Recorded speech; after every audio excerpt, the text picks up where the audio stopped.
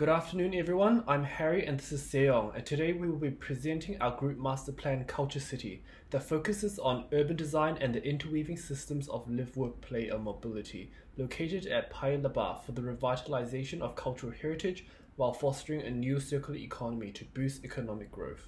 Based on the site's historic studies, the presence of rich cultural cultivation practices played an immense part of the residents' lifestyle. Apart from generating income, they also provided practices of self-sufficiency to the district. In comparison to present day, there is an emphasis on markets as the site identity, where markets like the Geylang Serai market acts as an important focal node for both social and economic activities of the community. So identifying the traits of both the past and the present, our master plan scheme aims to revive the traditional cultivation traits in order to establish a new microeconomy into the site that can generate revenue as well as a level of self-sustainability from locally sourced goods, generating a more resilient and independent community.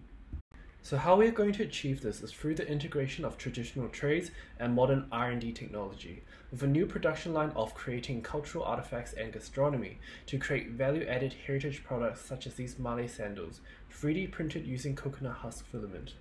So the overarching uh, concept of the circular economy talks about the sharing practices between the sharing of cultivation, uh, repurpose reuse, collective recycling, sharing culinary, sharing of goods, and sharing of knowledge across multi-generations.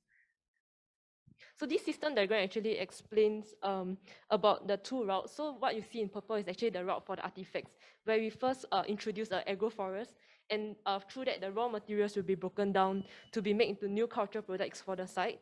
Uh, and also like the gastronomy routes where the where the produce of the agroforest actually becomes like culinary cuisines for the site uh, to actually enhance the cultural value of uh, Paya Lebar. So um, the effects of the circular economy actually crux on the phenomenon that while the residents are the producers, they are also the consumer for the site and also the neighborhood. So this uh, typology actually allows for the introduction of new jobs such as like local sous chef or like uh, assembly line specialists to add diversity into the local uh, trades uh, such as uh, tradesmen, artisans, housewives, and also the gardeners. So a few key um, issues of the existing site is that there's an imbalanced land use where there's a concentration of commercial area at the um, left side of the site and also a white slide at the top where the old factories are all removed so um, it's a clean site. Um, there is also um, greenery in the area that should be addressed and neglected water canals as well as um, poor transportation currently.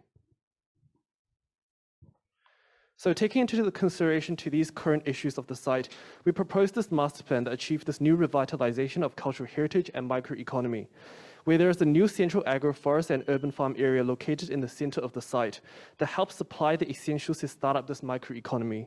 R&D labs indicated as yellow within the agroforest will progress um, will process the goods before they are transported to the markets indicated in red to be used for cuisines or product making. These markets indicated in red will form the central nodes within the intersection of the food and artifact spine, where such goods will be sold along those streets. In our master plan, we have revitalized the water canals, where they will serve three main functions. They will first serve as a form of recreation, providing spaces for water activities. Secondly, they will branch off into secondary tributaries within the agroforest, where they will serve as the irrigation for the plantation. And thirdly, these waterway canals will also act as visual wayfinders, guiding people towards nodes within the site. For our proposed greenery within the site, we have proposed a central agroforest with urban farms that not only serve this purpose of production, but also located in close proximity to residents to serve as a space of recreation. So with this central plantation, we will see this gradual merge within the urban fabric, where the plantation will start to blur the boundaries creating shared spaces. Our vision for 2050 is that autonomous vehicles would be a form of shared infrastructure. The transport routes are designed based on our cultural and commercial spines. So section BB shows about the new living typology introduced, where the terracing community gardens are introduced to residential in the upper level connectivity and uh, the introduction of like makerspace at the lower levels and in the middles of the blocks such that it brings uh, work near homes. The existing Geylang Serai will then be extended further into the local production and the agroforestry, such that it actually teaches the residents and the visitors on the production line of like raw materials to cultural products. So uh, next, I'll talk about the master plan. So for 2030, we actually, um, the residential po uh, population will actually uh, increase to 36,000 with working population of 112,000 people. So the existing URA plot that you can see at the white um, white parcel land will actually be removed and the introduction of agroforestry will be uh, introduced for plantation and urban farming. Then the existing uh, central area of the HDBs will actually be relocated so that it can allow for a clear thoroughfare for the cultural spine to go through for the cultural spatial programs. And the underutilized officers will be combined with the uh, officers at the sites and the malls such that it actually uh, doubles up the effectiveness of the area. And also lastly, the Changi Road, which is currently a single road, will be closed uh, such that it introduce, uh, will be closed at the bottom so that they introduce a two-way lane at the top of the Sims Drive. Next, 2040. 2040, uh, the projection of the residential population increased to 41,000 with 30% increase on the workforce. So uh, two-way traffic of the Sims Road at the top will be sunken downwards so that it allows for a free, uh, fully pedestrianized road. Um, and also it allows for the car parks to be set at the periphery of the site such that they park at the outside and then they use uh, like other modes such as AV and cyclists and uh, walking because it's only one kilometer site to move around the site. Then uh, on top of that, uh, the bottom side at the blue, uh, the food street will be introduced. And also new typology of the HDB that will terrace down into the agroforest space will be introduced as well. So by 2050, um, there will be an increase of population to 50,000 and the working population will be 155,000. So the whole network will be fully pedestrianized and um, local production series in the middle at the agroforestry works as a series of galleries such that the residents and visitors will be immersed in the entire experience uh, with a set, uh, cultural immersive at the site and also um, that houses the central community kitchen and the community maker space and rewilding will be introduced as form of recreation for the site. Yeah. So next we'll talk about our proposal. Yes, so these are the urban interventions located at a macro scale. So these will be the agroforest pavilions located in agroforest where residents or the visitors can go up to these um, pavilions to actually um, intimately and physically um, harvest the goods and take it to the um, cultural immersion center. Yep. Yeah, next, this is the uh, residential typology that we talked about, the terracing of the community space. Next, the local production where you uh, have different processes of the sorting. Next. Um, this is the Cultural Immersion Center where the people would take the goods from the agroforest and take it here to create their artifacts or their cuisines.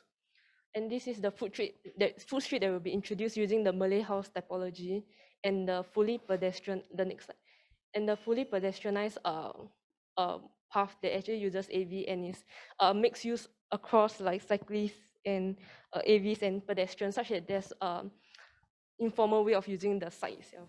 Yeah, and now we'll share a fly through.